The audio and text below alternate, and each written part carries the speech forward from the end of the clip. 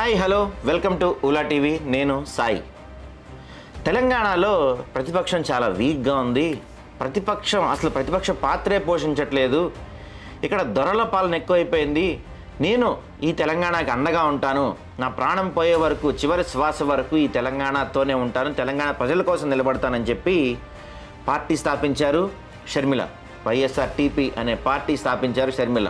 అంటే ఉత్సాహంతో ఆమె దిగారు.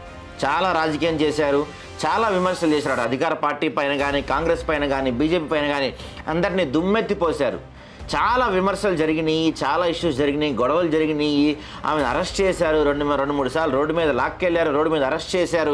ఎన్ని జరిగినా నేను బలంగా తెలంగాణ ఎన్నికలు నిలబడతాను తెలంగాణ కోసం నేను నిలబడతానని ఆమె ప్రకటించిన సందర్భాలు చాలానే ఉన్నాయి.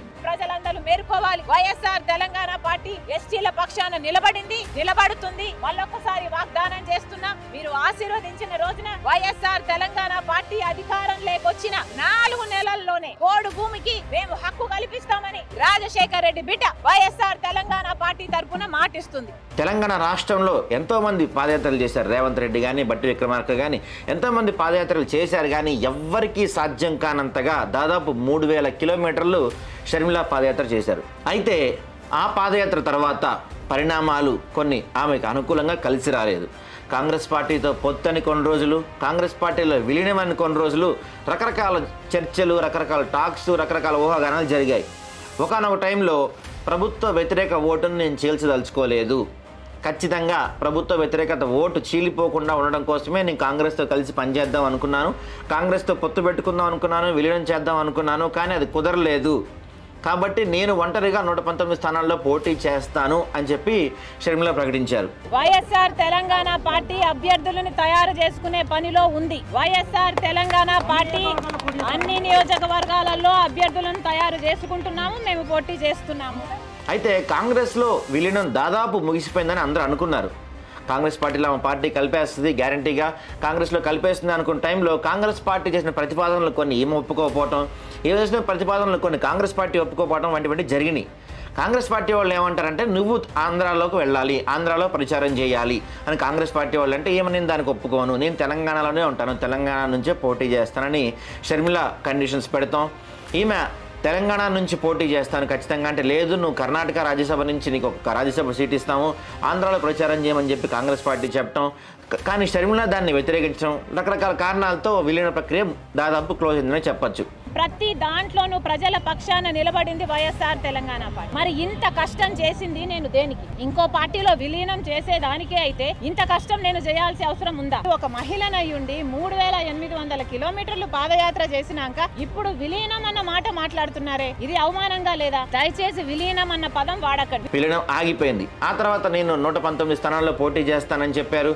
అనిల్ బ్రదర్ అనిల్ కొడంగల్ నుంచి పోటీ చేస్తారు. విజయమ్మ సికింద్రాబాద్ నుంచి పోటీ చేస్తారు. షర్మిల రెండు స్థానాల నుంచి పోటీ చేస్తారని చెప్పి రకరకాల ప్రచార ప్రచారాలు రకరకాల ఊహాగానాలు జరిగాయి తెలంగాణ వ్యాప్తంగా మీడియాలో అటు సోషల్ మీడియాలో. అయితే సడన్గా ఆ తర్వాత మళ్ళీ అవి మారుతూ వచ్చినాయి.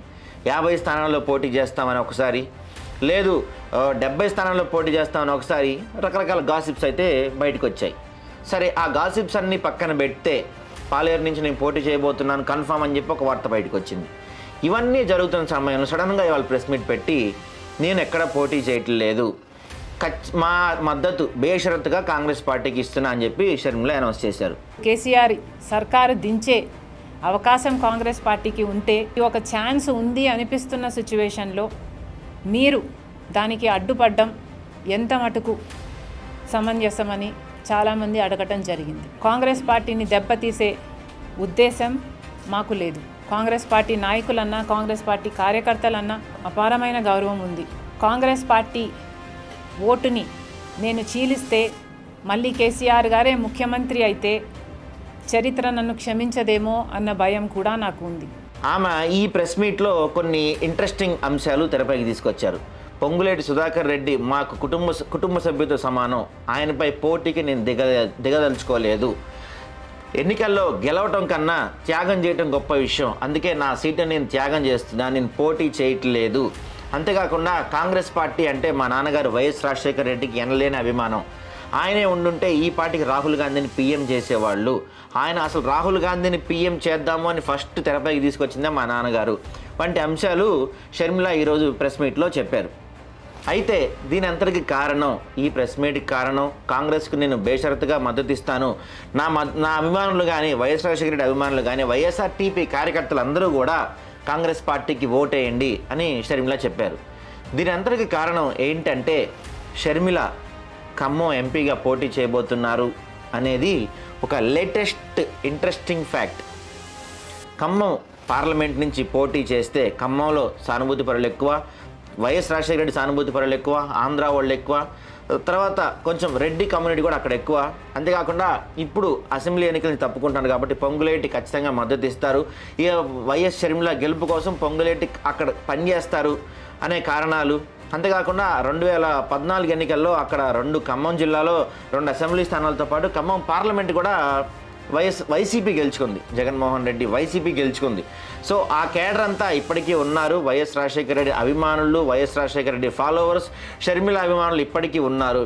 సో ఖమ్మం ఎంపీగా పోటీ చేసి గెలిస్తే తెలంగాణలోనే ఉన్నట్టు ఉంటుంది ఎంపీగా గెలిచాను కాబట్టి కొంచెం పార్టీలో మంచి వెయిట్ ఉంటుంది. అంతేకాకుండా ఎంపీగా ఉంటే సుదీర్ఘ రాజకీయ పోరాటం చేయొచ్చు. వంటి వంటి అంశాలను బేరీజ్ వేసుకొని ఖమ్మం ఎంపీగా నేను పోటీ చేస్తాను దానికి మీరు ఒప్పుకుంటే నేను ఎన్నికల బరిలోంచి పక్కకి తప్పుకుంటాను అని పొంగులేటి శ్రీనివాసరెడ్డి ద్వారా ఒక న్యూస్ని అధిష్టానానికి చేరవేశారని చెప్పి ఇన్సైడ్ టాక్. దానికి అధిష్టానం కూడా దాదాపు ఒప్పుకుందనే చెప్పాలి. అయితే ఇక్కడ ఇంకోటి ఉంది మళ్ళీ. అసెంబ్లీ ఎన్నికలప్పుడు రేవంత్ రెడ్డి షర్మిలాని పార్టీలోకి రానికుండా ఎంతగా అయితే అడ్డుకున్నారో ఇప్పుడు ఒకవేళ ఖమ్మం కాంగ్రెస్ నుంచి ఈమె పోటీ చేస్తానంటే ఒకవేళ ఆలోపు ఈమె విలీనం ప్రక్రియ మొదలుపెట్టి అప్పుడు ఎలక్షన్స్కి విలీనం ప్రక్రియ పూర్తి అయిపోయినా లేదు బయట నుంచే పొత్తిస్తున్నా అప్పుడు ఖమ్మం ఎంపీ సీట్ మాత్రం షర్మిల కోరుకుంటున్నారంట.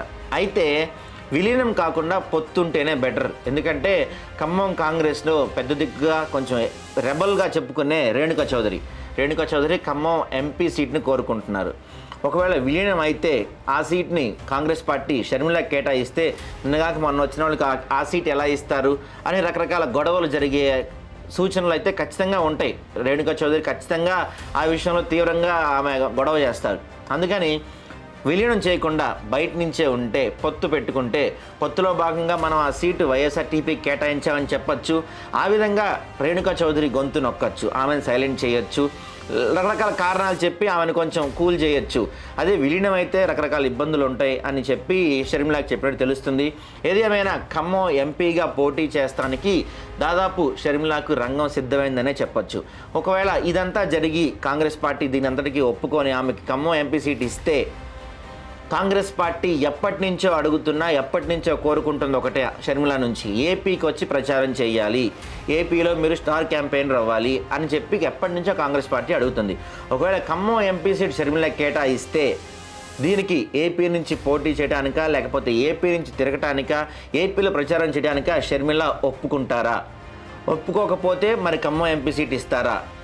ఇవన్నీ మనకి తొందరలోనే తెలియనుంది.